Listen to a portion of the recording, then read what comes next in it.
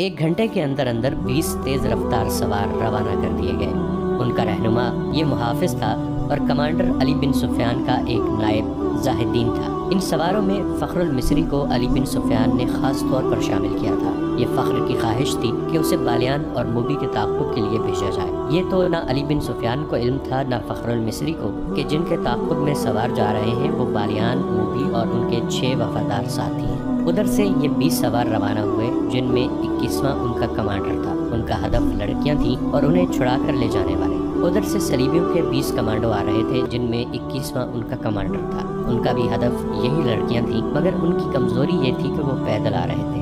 दोनों पार्टियों में से किसी को भी मालूम न था कि जिनके ताकुब में वो जा रहे हैं, वो कहाँ हैं। सलीबियों की कमांडो पार्टी अगले रोज़ सूरज गरूब होने के कुछ देर पहले खासा फासला तय कर चुकी थी। रास्ता ऊपर चढ़ रहा था। वो इलाका नशेब फराज का था।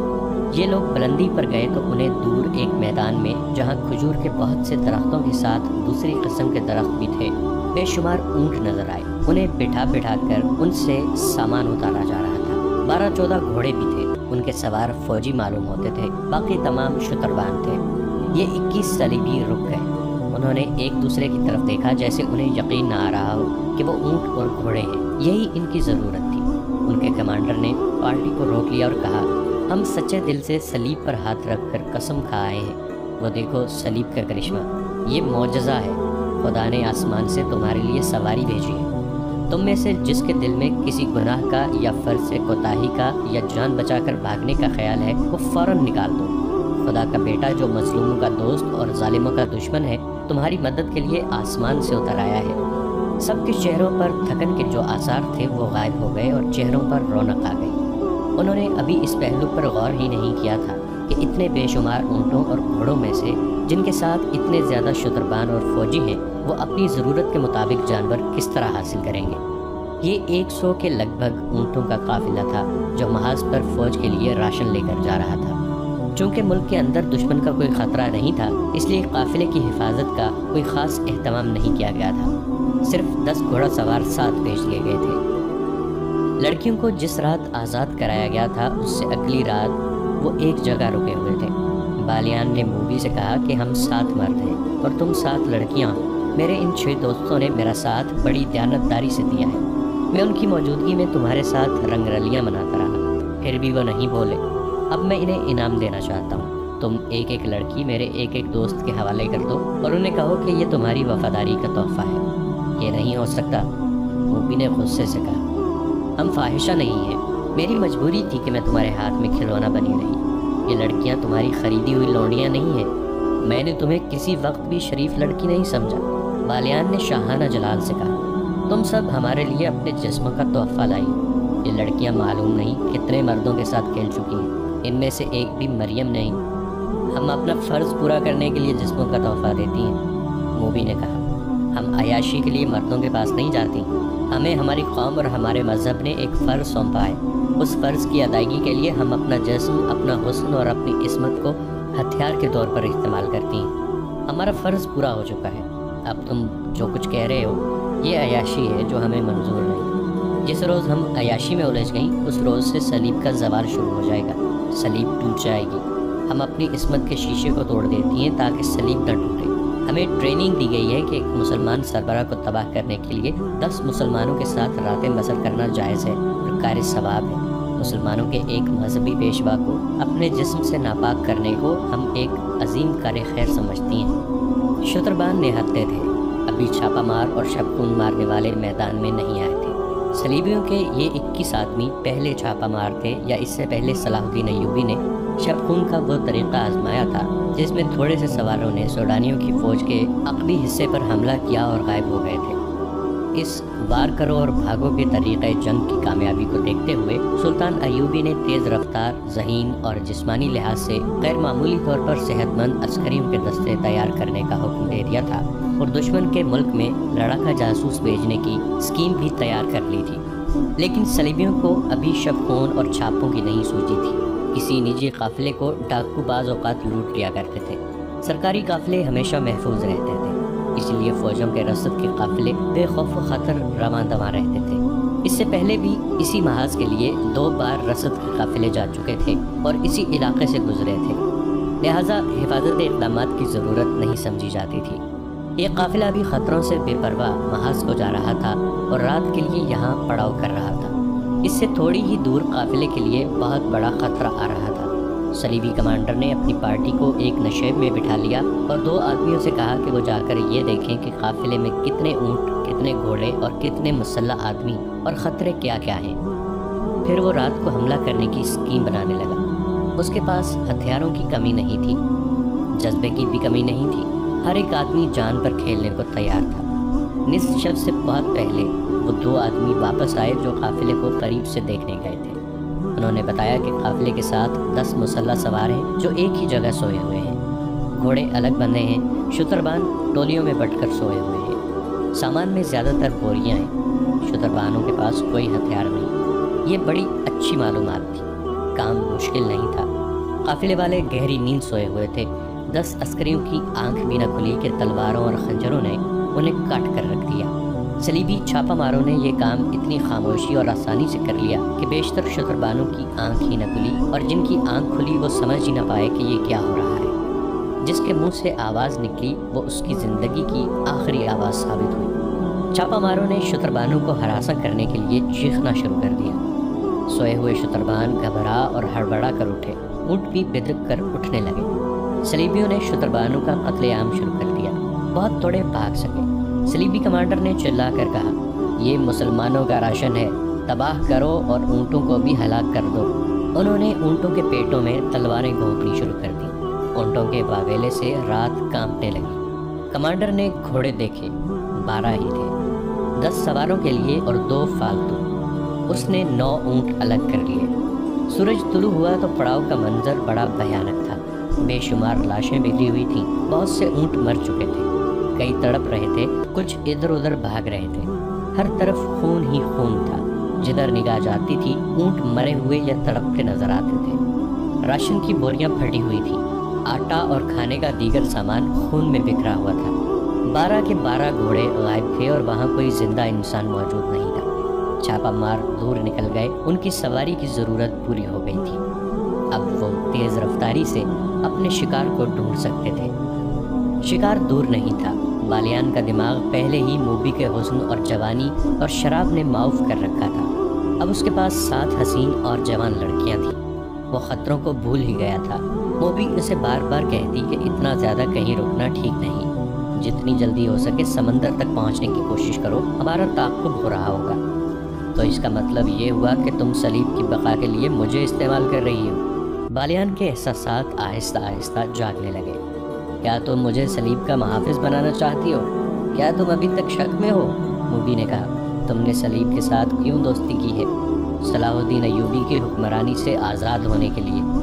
बालियान ने कहा, सलीब की हिफाजत के लिए नहीं, मैं मुसलमान हूँ, लेकिन इससे पहले मैं सोडानी हूँ। मैं सबसे पहले सलीबी हूँ, मूबी ने कहा। ईसाई हूँ और उसके बाद उस मुल्क की बेटी हूँ, जहाँ मैं पैदा हुई थी।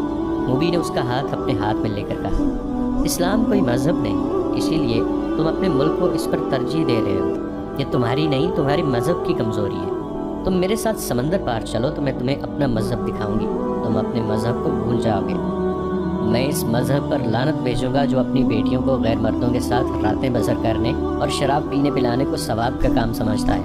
बालियान अचानक बेदार हो गया। उसने कहा, तुमने अपनी इसमत मुझसे नहीं लुटाई, बल्कि मेरी इसमत लूटी। मैंने तुम्हें नहीं, बल्कि तुमने मुझे खिलौना बनाए रखा है। एक मुसलमान का ईमान खरीदने के लिए इसमत कोई ज़्यादा कीमत नहीं, लड़की ने कहा। मैंने तुम्हारी इसमत नहीं लूटी। तुम्हारा ईमान ख़रीदा है, मगर तुम्हें रास्ते में भटकता हुआ छोड़ कर नहीं जाऊँगी। तुम्हें एक अजीम रोशनी की तरफ़ ले जा रही हूँ, जहाँ तुम्हें अपना मुस्तबिल और अपनी आखबत हीरो की तरह चमकती नज़र आएगी। मैं उस रोशनी में नहीं जाऊँगा, बालियान ने कहा। देखो बालियान मूबी ने कहा, मर्द जंगचू मर्द, वादे और सौदे से फिरा नहीं करते। तुम मेरा सौदा कबूल कर चुके हो। मैंने तुम्हारा ईमान खरीद कर शराब में डबो दिया है और तुम्हें मुँह मांगी कीमत दी है।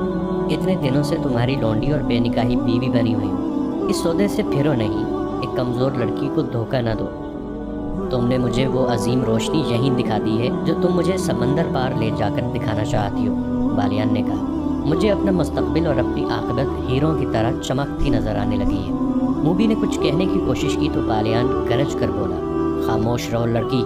सलाहुद्दीन अयूबी मेरा दुश्मन हो सकता है, लेकिन मैं रसूलुल्लाह सल्लल्लाहु अलैहि वसल्लम का दुश्मन नहीं हो सकता, जिनका सलाहुद्दीन अयूबी भी नाम लेवा है। मैं उन रसूलुल्लाह सल्लल्लाहु अलैहि वसल्लम के नाम पर मिस्र और सूडान कुर्बान कर सकता हूँ। उनके अजीम और मुक़दस नाम पर मैं सलाहुद्दीन अयूबी के आगे हथियार डाल सकता हूँ। मैं तुमको कई बार कह चुकी हूँ कि शराब कम पिया करो मूबी ने कहा। एक शराब दूसरे रात भर जागना और मेरे जिस्म के साथ खेलते रहना। देखो, तुम्हारा दिमाग बिल्कुल बेकार हो गया है। तुम ये भी भूल गए हो कि मैं तुम्हारी बीवी हूँ। मैं किसी फाहिशा सलीबी का खामन नहीं हो सकता। उसकी नज़र शराब की बोतल पर पड़ी। उसने बोतल उठाकर परे फेंक दी और उठ खड़ा हुआ। उसने अपने दोस्तों को बुलाया, वो दौड़ते आए। उसने कहा, ये लड़कियाँ और ये लड़की भी तुम्हारे कैदी हैं। इन्हें वापस काहिरा ले चलो। काहिरा एक ने हैरान होकर कहा अब काहिरा जाना चाहते हैं? हाँ उसने कहा, काहिरा, हैरान होने की ज़रूरत नहीं। इस रेगजार में कब तक भटकते रहोगे? कहाँ जाओगे? चलो, घोड़ों पर जीने कसो और हर लड़की को एक एक घोड़े की पीठ पर बाँध के ले चलो। सहरा में ऊँट का सफ़र बे आवाज़ पा होता है। घोड़ों के टापों की हल्की हल्की आवाज़ें सुनाई देती हैं, लेकिन ऊँट के पाँव खुदा ने ऐसे बनाए हैं कि हल्की सी आवाज़ भी पैदा नहीं होती। बालियान जिस वक्त मूवी के साथ बातें कर रहा था, उसे महसूस तक न हुआ कि एक ऊँट एक छोटे से रेतले टीले की ओट में खड़ा उन दोनों को और छह लड़कियों को और इन छह आदमियों को देख रहा है। वो सलीबी कमांडर पार्टी का एक आदमी था। उस पार्टी का कमांडर अक्लमंद आदमी था। बालियान के डेरे से तकरीबन निसफ मील दूर उसने पड़ाव किया था। उसके वहम गुमान में भी नहीं था कि उसका शिकार उससे निसफ मील दूर है। उसने फौजी दानिशमंदी से काम लेते हुए रात को तीन आदमियों को ये ड्यूटी दी थी कि वो ऊँटों पर सवार होकर दूर दूर तक घूम आए और जहाँ उन्हें कोई ख़तरा या काम की कोई चीज़ नज़र आए, आकर इत्तला दें। इस काम के लिए ऊँट की सवारी मौजूद सवारी थी क्योंकि उसके पाँव की आवाज़ नहीं होती। तीनों सवार मुख्तलिफ़ सिमतों को चले गए थे। ये सारा इलाका ऐसा था कि पड़ाव के लिए नहायत अच्छा था। इसलिए कमांडर ने सोचा था कि यहाँ किसी और ने भी डेरे डाल रखे होंगे। एक शुतर सवार को रोशनी सी नज़र आई तो वो उस तरफ़ चल पड़ा। ये एक छोटी सी मशल थी जो बालियान के आरजी कैंप में जल रही थी। शुतर सवार आगे गया तो एक टीले के पीछे हो गया। ये इतना ही ऊँचा था कि ऊँट पर सवार होकर आगे देखा जा सकता था। ऊँट और सवार उसके पीछे चुप गए थे। उसे हल्की हल्की रोशनियों में से लड़कियाँ नज़र आने लगीं जो बालियान के फौजी दोस्तों के साथ गपशप लगा रही थी। उनसे कुछ दूर एक और लड़की एक आदमी के साथ बातें करती नज़र आई। ज़रा परे बहुत से घोड़े बंधे हुए थे। उनमें वो घोड़े भी थे जो उन लोगों ने कैदियों के मुहाफ़ों को कत्ल करके हासिल किए थे। सलीबी शुतर सवार ने ऊँट को मोड़ा। कुछ दूर तक आहिस्ता आहिस्ता चला और फिर ऊँट दौड़ा दिया। ऊँट के लिए निस मील का फासला कुछ भी नहीं था। सवार ने अपनी पार्टी को खुशखबरी सुनाई कि शिकार हमारे कदमों में है। कमांडर ने एक लम्हा भी ज़ाया न किया। शतर सवार से हदफ की तफसील पूछी और पार्टी को पैदल चला दिया। घोड़े के कदमों की आवाज़ से शिकार के चुकन्ना हो जाने का खतरा था। जिस वक्त ये पार्टी बालियान के डेरे तक पहुँची, बालियान हुक्म दे चुका था कि एक एक लड़की को घोड़े के पीठ पर बाँध दो। उसके दोस्त हैरत ज़दा होकर बालियान को देख रहे थे कि उसका दिमाग ख़राब हो गया है। उन्होंने उसके साथ बहस शुरू कर दी और वक्त ज़ाया होता रहा। बालियान ने उन्हें बड़ी मुश्किल से कायल किया कि जो कुछ कह रहा है होश ठिकाने रख कर कह रहा है और काहिरा चले जाने में ही मसलहत और आफियत है। लड़कियाँ परेशानी के आलम में उसे देख रही थी। बालियान के आदमियों ने घोड़ों पर जीने डाली और लड़कियों को पकड़ लिया। अचानक उन पर आफत टूट पड़ी। बालियान ने बुलंद आवाज़ से बार बार कहा, हम हथियार डालना चाहते हैं। लड़कियों को काहिरा लेकर जा रहे हैं। वो हमलावर को सुल्तान अयूबी के फौजी समझ रहा था, लेकिन एक खंजर ने उसके दिल में उतरकर उसे खामोश कर दिया।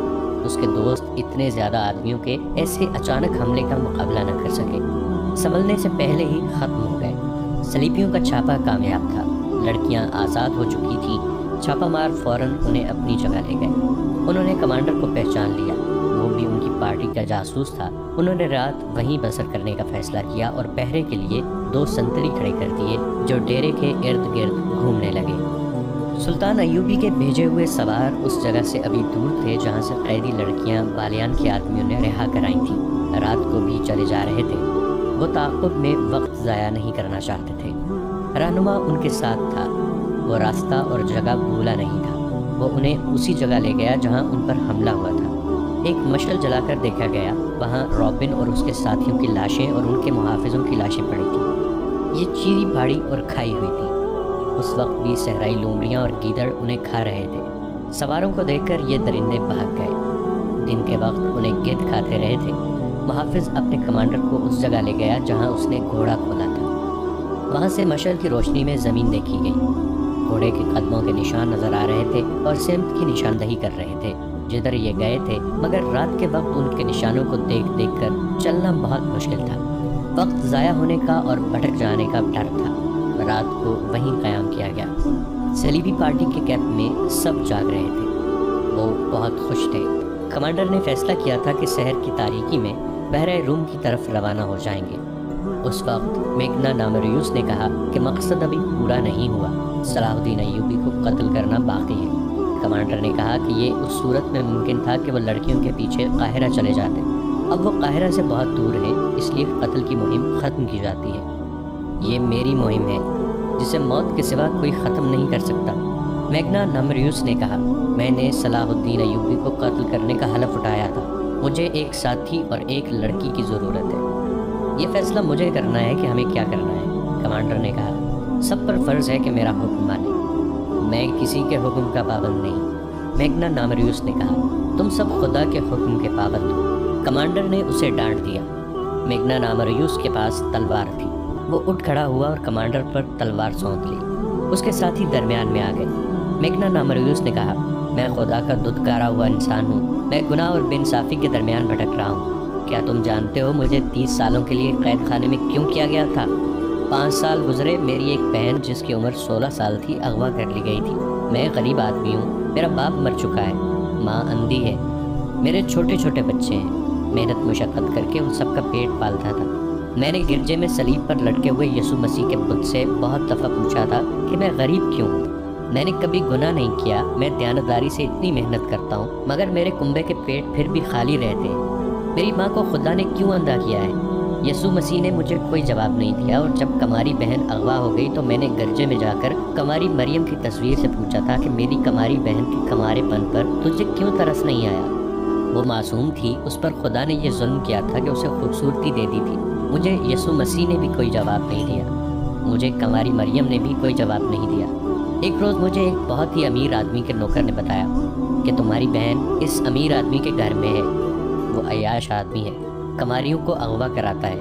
थोड़े दिन उनके साथ खेलता है और उन्हें कहीं गायब कर देता है, लेकिन वो आदमी बादशाह के दरबार में बैठता है। लोग इसकी इज़्ज़त करते हैं। बादशाह ने उसे रुतबे की तलवार दी है। गुनागार होते हुए खुदा उस पर खुश है। दुनिया का कानून उसके हाथ में खिलौना है। मैं उसके घर गया और अपनी बहन वापस मांगी। उसने मुझे धक्के देकर अपने महल से निकाल दिया। मैं फिर गर्जे में गया। यसु मसीह के बुद्ध और कमारी मरियम की तस्वीर के आगे रोया। खुदा को पुकारा, मुझे किसी ने जवाब नहीं दिया। मैं गिरजे में अकेला था, पादरी आ गया। उसने मुझे डांट कर गिरजे से निकाल दिया। कहने लगा, यहाँ से दो तस्वीरें चोरी हो चुकी हैं। निकल जाओ, वरना पुलिस के हवाले कर दूँगा। मैंने हैरान होकर उससे पूछा, क्या ये खुदा का घर नहीं है? उसने जवाब दिया तो मुझसे पूछे बगैर खुदा के घर में कैसे आए? अगर गुनाहों की माफ़ी मांगनी है तो मेरे पास आओ। अपना गुनाह बयान करो। मैं खुदा से कहूँगा कि तुम्हें बख्श दे। तुम खुदा से बरह रास्त कोई बात नहीं कर सकते। जाओ, निकलो यहाँ से और मेरे दोस्तों, मुझे खुदा के घर से निकाल दिया गया। वो ऐसे लहजे में बोल रहा था कि सब पर सन्नाटा तारीफ़ हो गया। लड़कियों के आँसू निकल आए। सहरा की रेत के सकूत में उसकी बातों का असर सब पर तलिस्म बनकर तारी हो गया। वो कह रहा था मैं पादरी को यसु मसीह के बुत को, कमारी मरियम की तस्वीर को और उस खुदा को जो मुझे गर्जे में नज़र नहीं आया, शक की नज़रों से देखता निकल आया था। घर गया तो अंधी माँ ने पूछा, मेरी बच्ची आई कि नहीं? मेरी बीवी ने पूछा, मेरे बच्चों ने पूछा। मैं भी बुत और तस्वीर की तरह चुप रहा, मगर मेरे अंदर से एक तूफ़ान उठा और मैं बाहर निकल गया। मैं सारा दिन घूमता फिरता रहा। शाम के वक्त मैंने एक खंजर खरीदा और दरिया के किनारे टहलता रहा। रात अंधेरी हो गई और बहुत देर बाद मैं एक तरफ़ चल पड़ा। मुझे उस महल की बत्तियाँ नज़र आईं, जहाँ मेरी बहन कैद थी। मैं बहुत तेज़ चल पड़ा और उस महल के पिछवाड़े चला गया। मैं इतना चालाक और होशियार आदमी नहीं था, लेकिन मुझमें चालाकी आ गई। मैं पिछले दरवाजे से अंदर चला गया। महल के किसी कमरे में शोर शराबा था। शायद कुछ लोग शराब पी रहे थे। मैं कमरे में दाखिल हुआ तो एक नौकर ने मुझे रोका। मैंने खंजर उसके सीने पर रख दिया और अपनी बहन का नाम बताकर पूछा कि वो कहाँ है। नौकर मुझे अंदर सीढ़ियों से ऊपर ले गया और वो एक कमरे में दाखिल करके कहने लगा कि यहाँ है। मैं अंदर गया तो मेरे पीछे दरवाज़ा बंद हो गया। कमरा खाली था। दरवाज़ा खुला और बहुत से लोग अंदर दाखिल हो गए। उनके पास तलवारें और डंडे थे। मैंने कमरे की चीज़ें उठा उठा कर उन पर फेंकनी शुरू कर दी। बहुत तोड़ फोड़ की। उन्होंने मुझे पकड़ लिया, मुझे मारा पीटा और मैं बेहोश हो गया। जब होश में आया तो हथकड़ियों और बेड़ियों में जकड़ा हुआ था। मेरे खिलाफ इल्ज़ाम ये थे कि मैंने डाका डाला, बादशाह के दरबारी का घर बर्बाद किया और तीन आदमियों को कत्ल की नीयत से ज़ख्मी किया। मेरी फरियाद किसी ने न सुनी और मुझे तीस साल सजाए कैद देकर कैद खाने के जहनों में फेंक दिया गया। अभी पाँच साल पूरे हुए मैं इंसान नहीं रहा। तुम कैद खाने की सख्तियाँ नहीं जानते। दिन के वक्त मवेशियों के जैसा काम लेते हैं और रात को कुत्तों की तरह जंजीर डालकर कोठरियों में बंद कर देते हैं। मुझे कुछ मालूम नहीं था कि मेरी अंतिमा ज़िंदा है या मर चुकी है। बीवी बच्चों का भी कुछ पता नहीं था। मुझे ख़तरनाक डाकू समझकर किसी से मिलने नहीं दिया जाता था। नादरीन आज की किस्त में इतना ही। हमारी नई वीडियो से बाखबर रहने के लिए हमारे इस चैनल को सब्सक्राइब करके नीचे मौजूद बेल आइकन को ज़रूर प्रेस कीजिएगा।